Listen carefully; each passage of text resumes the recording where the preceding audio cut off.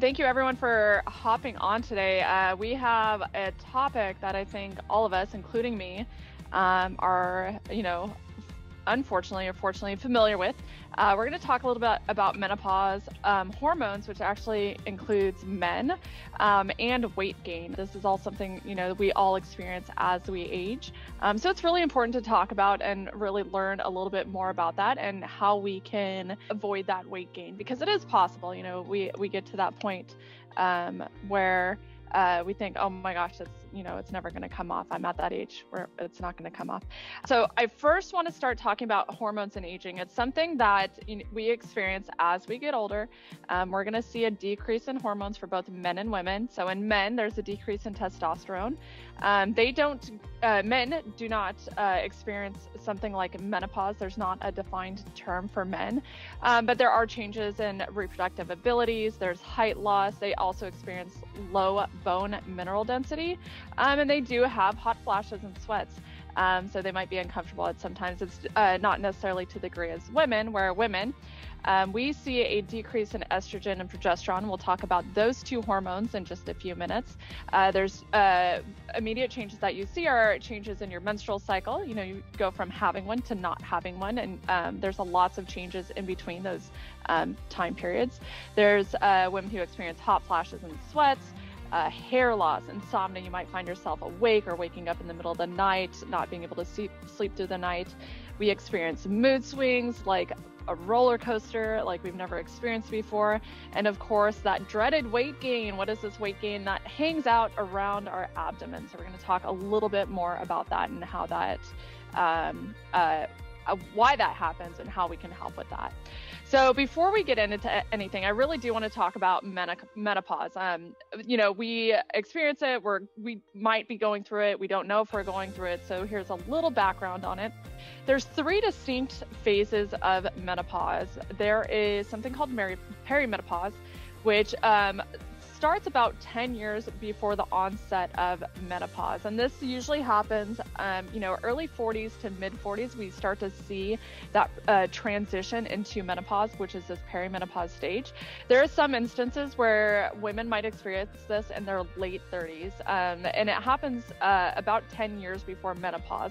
And so it's about a 10 year process, eight to 10 years for this whole transition. So it's a long time that we're experiencing these symptoms of hot flashes, insomnia, mood swings, and some other stuff that goes with it. Um, in the late stage of perimenopause, we actually see a drop in estrogen and with a rapid acceleration. So if we look at this image here, this is a really basic idea of what happens to our hormones. So we have two hormones, estrogen and progesterone. Um, and those hormones help regulate our menstrual cycle. They help prepare our bodies for pregnancy. They help um, after pregnancy. Um, and so we see that huge decline in um, estrogen. And that's usually where we start to see those symptoms um, pick up those night sweats, the hot flashes, mood swings, um, hunger, uh, food cravings. Um, we still have menstrual cycles during this time. They might uh, change. They might become longer. They might become heavier. They might become shorter. They might become, um, you know, you might have experience more cramping. You might experience no cramping. Um, so we see these changes and it gets really inconsistent. Um, and then this is also the stage, this perimenopause stage, where we start to experience those things. And I'm sure we've all had that moment where like, what is going on? Why am I all of a sudden like sweating in the middle of the night? Or you're like sitting there and all of a sudden you're like hot and you're like, oh my gosh, I have to take off my sweatshirt. I'm so hot. Um, and experiencing those symptoms. So that starts at this um, this stage, this perimenopause stage. Uh, next, we transition into menopause. So, menopause marks the cessation of the menstrual cycle, um, and it's uh, marked by no menstrual cycle for um, 12 consecutive months. So, one full year with no menstrual cycle, and at that point, uh, you would be diagnosed with menopause. Um, this is also the point where the ovaries stop releasing the eggs, and um, most of the estrogen produced um, is um, stopped. And so, this is where we really see that that drop off. Um, following the one year of um, no menstrual cycle, we reached the postmenopause stage. Um, and this is going to be the period for the rest of your life after that one year of um, no menstrual cycle. Um, and and we might uh, see those symptoms of those hot flashes, insomnia, mood swings. All of those actually might subside. There are some cases where women will continue that with those, but for the most part, usually about 55, 60 years old, you'll start to see those signs and symptoms go away. Next up, hormones, calories, and menopause. This is one of the reasons why we're all on this call right now. We want to figure out what's going on with that weight gain and why we're gaining that weight. Even though, you know, we're still exercising, we're still eating reasonably healthy, you're like, I'm doing the same exact thing that I've always done. Why am I still like either gaining weight? Why is this not going away? Um, and there's a couple reasons for that. So we have some hormones. We have our body has a lot of hormones. These are the four hormones that I'm actually going to talk about um, that uh, relate to menopause and weight gain. So we have two hormones, um, one called ghrelin and one called leptin. These uh, ghrelin is a hunger stimulating hormone. Um, that's released, um, and that's where you get that sensation of feeling hungry. And then leptin is a hormone that's released to um, help uh, tell you that you're full and keep you full. And so, as we're going through this perimenopause stage, we start to see an increase in ghrelin and a decrease in leptin. And so, what happens is we start to um, feel hungry all the time. Our appetite increases, and we'll find ourselves eating more than we normally did before that. And that is because that leptin, that hormone that's going to keep us full or tell us that we're full and that we're good, um, has decreased. And this is going to continue to decrease um, all the way through post menopause. Um, there's another hormone called cortisol. If you've joined me on any of the other seminars, you've heard this cortisol before. Um, chronic stress, um, which uh, is um, can lead to uh, increased cortisol levels, can lead to poor eating and poor choices. Um, that's where we get those high fat, high sugar, you know, kind of comfort foods that we're all looking for um, that make us feel better. And so, um, as cortisol mitigating effects of the estrogen decline, this stress adds that fuel to the increase in appetite. So, as we get stressed, we're going to tend to go towards that food because we don't have those higher levels of estrogen. And so, as we talk about estrogen, um, we're going to see a decrease in estrogen. And again, estrogen is one of those hormones that helps regulate our menstrual cycle. Um, it really works with the brain, um, and normally it is there as an appetite suppressor. But as estrogen decreases, um, you know, we uh, have an appetite increase. And so there's a form of estrogen called estradiol, which helps regulate the metabolism, regulate body weight. And again, once that estrogen or that estradiol declines, our appetite increases. So again, we're going to find ourselves eating a little bit more. Um, and then the one last thing that really affects uh, weight gain during perimenopause, menopause, postmenopause is sleep. And again, you've heard me talk about how important sleep is. So the fluctuations in the hormones can affect sleep. So as we see that drop in estrogen, that drop in progesterone, um, we'll see, you know, uh, an increase in night sweats. We'll have a tendency to stay awake longer, um, leading to insomnia, uh, waking up multiple times in the night. Um, all of this lack of sleep can again lead to those increased feelings of hunger because the next day you're really tired, and we always turn to food when we're really try- tired, trying to get that energy into our body.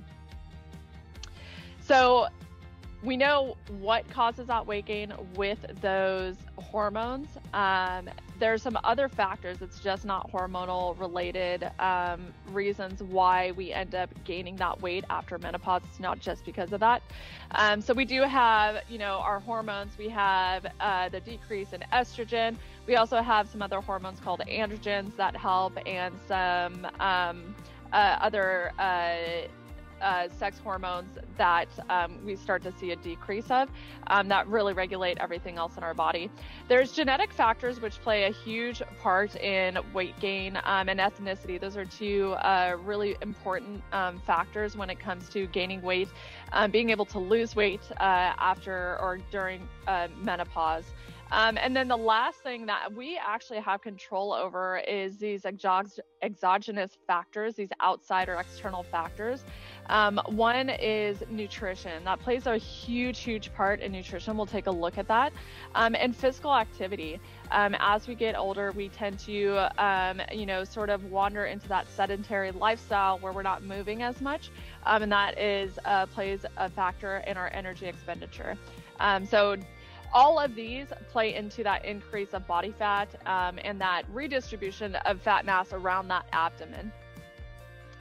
Um, and so when we are talking about menopause and perimenopause, and we all know this, that weight sits right around our abdomen, and that's that actually happens um, for a few reasons. So as we get into that perimenopause stage, that's that early stage, we see a rapid increase in fat mass and the distribution to that weight around our abdomen. It's very specific um, to aging and to um, the changes in hormones.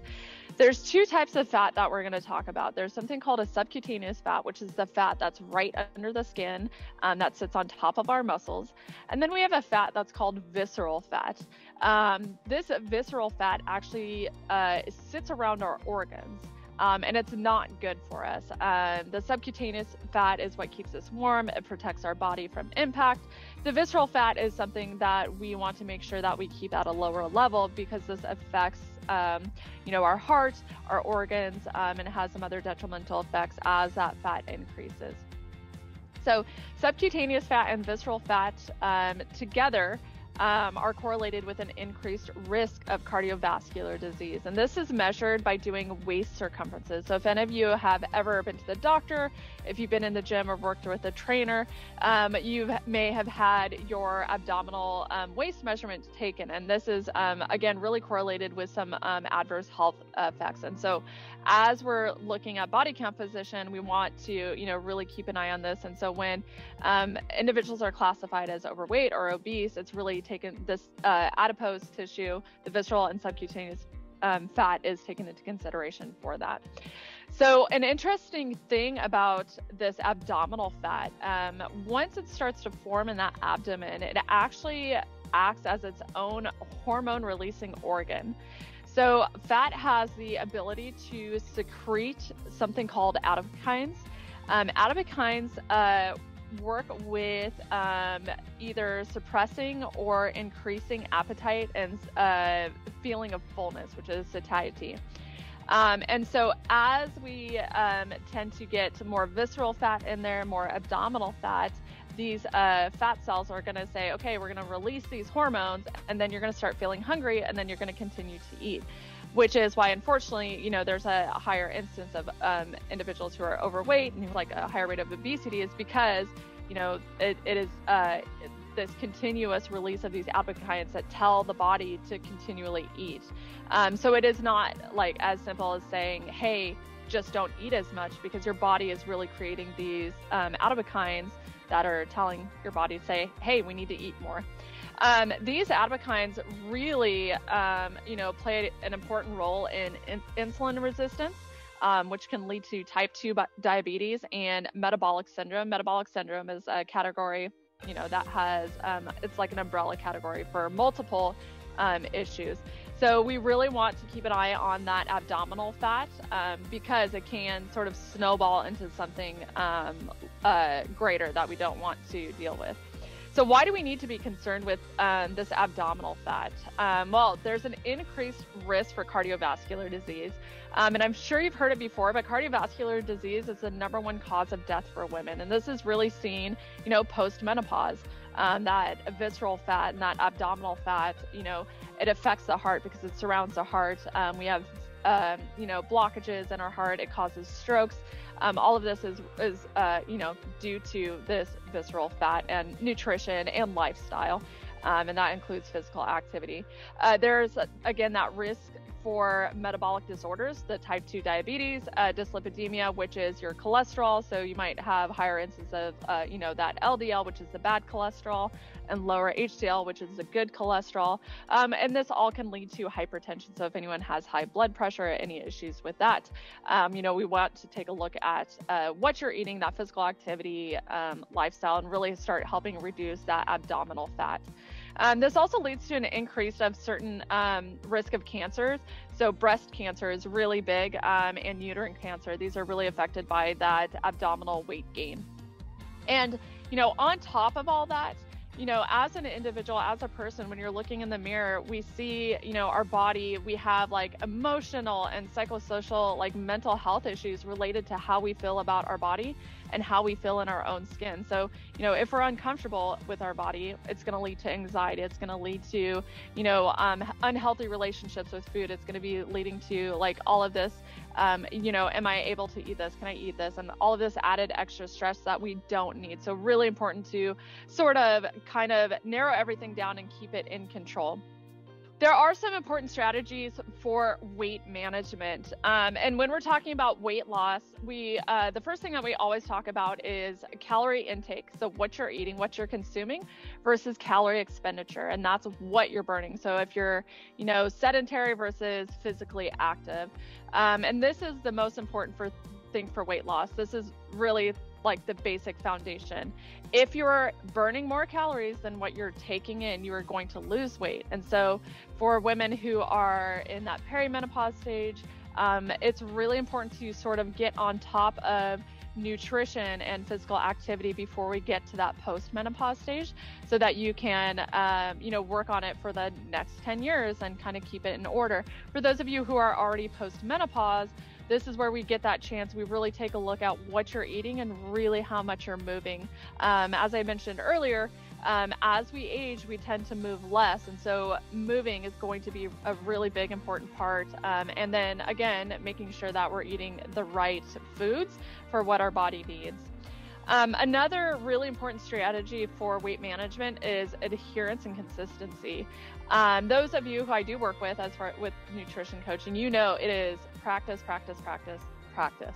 Um, I always like to use the example of um, as we're learning something um, and we're trying to get really good at it, um, you know, playing a guitar, we can't just pick up a guitar and, you know, rock out to Led Zeppelin song on the very first try. We have to learn how to do it.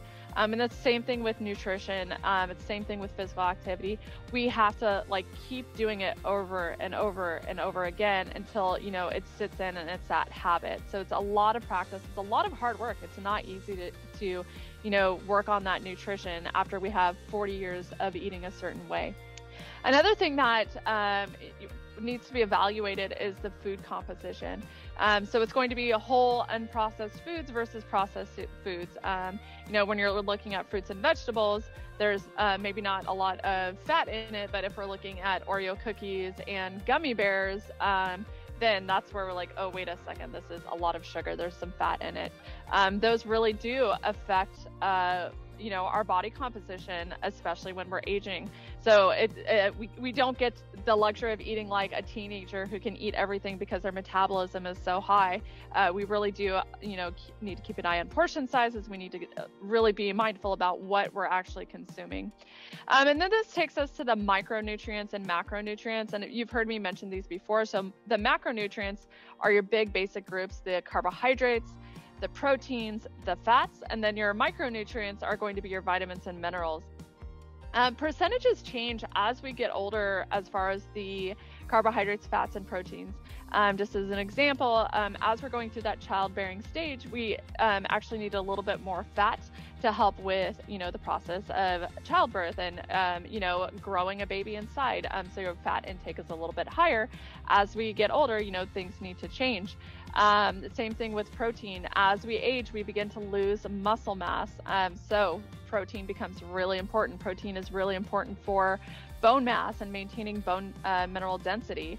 Um, again, when we look at micronutrients, those are your vitamins and minerals. You've probably heard a lot of talk about vitamin D and calcium for osteoporosis um, or osteopenia, which is, you know, um, a result of, you know, uh, bone loss as we age. So as we get older, we start to see this, especially um, after that post-menopause stage, we see a rapid decline in that bone loss. Um, and a lot of you have probably had bone mineral density scans. Um, so uh, uh again, these uh, vitamins uh, and minerals, calcium and vitamin D, are really important. Um, again, I'm going to go back to sleep and stress management. You've heard me talk about these two, how important they are for weight loss. Sleep, you really need your body to recover um, in order to, you know, repair the muscles, um, help with immune function. Same thing with stress. We really want to make sure that we keep those cortisol levels in check um, for that as well. And then the last thing I want to help with, um, I know you've all listened to this and you're like, yep, this is me. This is like, I have this, I have this, I have this abdominal weight that I just can't get rid of. I'm running every day. I'm doing FitTRAC high intensity sessions five times a week. I think I'm eating okay. So why do I still have this? So we know that problem is that weight gain during, pen- again, it starts at that perimenopause stage. Um, all the way through menopause and then even post menopause, where it becomes a little bit more difficult um, and that's caused by hormones, it's caused by change, aging, um, it's caused by calories. Remember that calorie intake versus that calorie expenditure. And then again, your lifestyle. How much are you moving? How active are you? Um, and these lead to, you know, that increased visceral fat. That's that fat that's around that abdomen that we really need to correct so we don't have those increased risks for cardiovascular disease or increased risk for ca- cancer. Then we also see that increased rate of osteoporosis, which is really important for maintaining that bone health. Um, so as we age, we can still be really strong. Um, so this is where I sort of come in as that nutrition coach. Um, I work with everyone on implementing healthy food habits. Um, I know some of you out there already work with me on it it's a lot of practice. It's a lot of me checking in. It's a lot of you telling me, like, hey, this is what's going on. Um, and again, I work on that cognitive restructuring. We have, you know, years and years worth of eating habits. We really need to break those neural connections and rechange them, reset them, and say, okay, here you go. We're going to do this. Um, and I always like to use the brushing your teeth example. You know, how many times do you have to tell your kids to brush their teeth? Brush your teeth, brush your teeth. Did you brush your teeth? Go brush your teeth. So it's like that. Did you get your protein? How much protein did you get? Are you going to get your protein? Go eat some protein. Um, so it's going to be a lot of that until all of a sudden one day you don't have to hear my little voice in the back of your head saying, Did you eat your protein? You automatically do it. Um, and I'm here for that accountability and support. I'm going to be that co pilot for you. Um, and then working with me, we can always develop that plan for those weight management strategies, strategies that we talked about that calories in versus calories out, the sleep, the stress management, um, looking at those macronutrients, looking at those micronutrients. Those do affect, uh, again, weight gain um, and body composition this whole process of menopause and health and lifestyle changes is like a multifactorial, multidimensional. And so being able to work with a nutrition coach and a lifestyle coach, being able to have that psychological support for like the emotions and anxiety, and then being able to work with that medical doctor as a full team is going to be the most beneficial for you. So taking, you know, there are people who are taking hormone replacements. There are supplements that individuals are taking, um, estrogen supplements or um, stuff like that. Those are all going to be incorporated into this new lifestyle along with nutrition and physical activity. As you go through this menopause stage, um, there are a couple that make the top of the list, and this is really important for immunity and bone health. Those are calcium, vitamin D, and actually vitamin K. Um, vitamin D and vitamin K are fat soluble vitamins. If you remember from the last seminar that I talked about, um, those are all really important um, uh, as far as helping the absorption of these vitamins. So you need that a little bit of fat for that. Um, but vitamin D and vitamin K, along with calcium, really help slow down. It doesn't stop, it doesn't prevent, but it does help slow down that bone loss that you see um, with osteopenia and osteoporosis. And those are very similar. It's, there's just actually a very specific number that separates those two. Um, but those are, are going to be the most important as far as um, helping with menopause. Um, there are some other uh, vitamins and supplements that might help with, um, you know, some of those signs and symptoms of like uh, night sweats and um, insomnia, but a lot of those you can really get through nutrition. Um, and that's like eating whole foods. You're going to get all of those vitamins and nutrients. Um, there are just, again, those supplement, those smaller supplementations that may need to be added. And again, that's going to be up to the doctor um, and and part of that nutrition counseling part of it. So metabolism is there's a lot of components that go to that. So I'll try to keep this short because I can talk to talk about this. Um, so as we as we get older, you heard me um, mention that we begin to lose muscle mass. Um, metabolism really works on um, you know the energy that it needs to keep muscles and organs working. So, individuals with higher muscle mass, um, and I wish I had a, a, chalkboard to draw on. So, if you imagine this big bodybuilder who has all of this muscle, and then you imagine, you know, this really um, lean person who's really just skin and bone. The person with a higher muscle mass is going to have a higher metabolism because there is a more surface area. So your body has to um, uh, have more energy to keep that body functioning. So individuals who are who are smaller, um, and if you ever track your calories and you're maybe 5'1", 5'2", or maybe my height, you're going to notice that you're not going to burn as many calories as someone who's six foot two, six foot three, like John. So John and I have completely different metabolism, and it's really based on body mass. Um, he's bigger, he weighs more than me, so his metabolism is going to be higher. So um, as we age, it really comes down to that loss of muscle mass um, versus because we get older, our metabolism slows. Um, so that's why it is really important, especially for women, to um, you know keep working on that resistance training. Um, that's going to help us maintain that muscle mass so that our metabolism stays higher. It's also going to help us, um, you know, create that that resistance that we need for maintaining bone health. It's also going to help us, you know, maintaining our weight um, so we don't continue to gain weight. Um, and again, nutrition plays a really big part in that. Uh, we really need more protein in our diet because we that protein, you know, helps us with growing muscle and uh, repairing that muscle. So it's sort of a two-factor component with that metabolism. So it's it's both. Um, as we so if we continue to eat and i'm going to use this as um, a, a, really good example that we've all experienced is um, this pandemic and shelter in place. Uh, when we went into shelter in place we stopped uh, going to the grocery store. We stopped walking to our car to you know go to work. We stopped walking around work. So what happens is we took away that physical activity um, that we really didn't um, associate with physical activity, even though our body was moving, and we still continued to eat the same. So our activity went down. We ate the same, and what most people said is like, "Oh, I gained that COVID 19, right?" Um, and that is really because of that reduction in physical activity. If we maintained that physical activity as we were in this pandemic or shelter in place, you wouldn't have seen any weight change. You would have continued to go. So it's it's um, really taking a look at what is my physical activity right now, what am I eating right now? Um, and what people tend to do is they underestimate how much they eat and they overestimate how much physical activity they get to. So until someone really looks at, hey, what are you doing? What are you really eating? Can you show me what you're eating? Then it's like, oh wait, okay, I'm not where I think I was, and that's really what it what it, it comes down to. No, um, Okay, intermittent fasting. Um, that is something that I would love to have a conversation one on one with. This gets back into, I think, the very first seminar when we talked about restricting calories. Um, uh, intermittent fasting, counting macros, keto diet, this all falls under these the fad diets or these diet trends.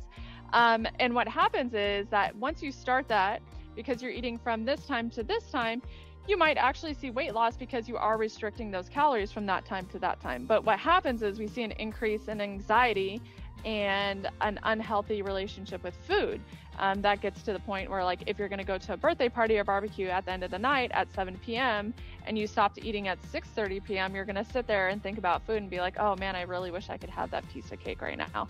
Um, so, it, it um, there are ways that you can lose weight without counting macros, without doing intermittent fasting and and have like you know those foods that you like have you know a piece of pizza have some ice cream have a glass of wine um, like that so if you would like to know a little bit more about intermittent fasting and how that works definitely reach out to me at a later point because that's a full whole long conversation that i can have with you if anyone wants to hop on a one on one call, we can talk about it because there's so many different options out there, especially when it comes to menopause.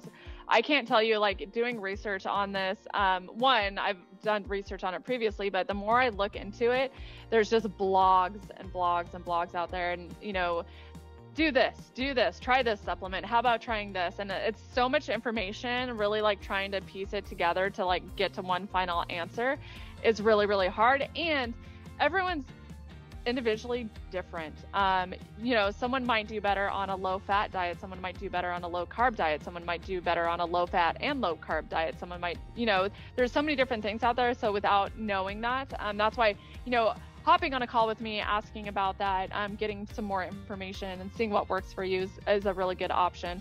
Um, so again, Sarah at fittraccoaching.com. Um, those of you who have my number can always text me. Um, and again, I'll follow up. I'll uh, shoot everyone a text message uh, with some more information or the best way to get a hold of me if you have any other questions.